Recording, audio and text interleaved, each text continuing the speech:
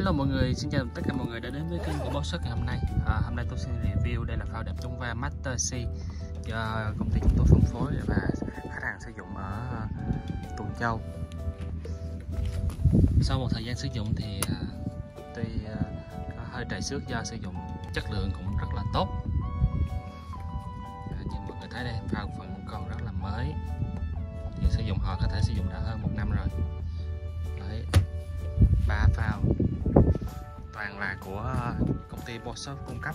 Thì quý khách hàng có nhu cầu thì cứ liên hệ với số điện thoại mô tả bên dưới nha. Boshop là nhà cung cấp thiết bị cano du thuyền chuyên nghiệp tại Việt Nam.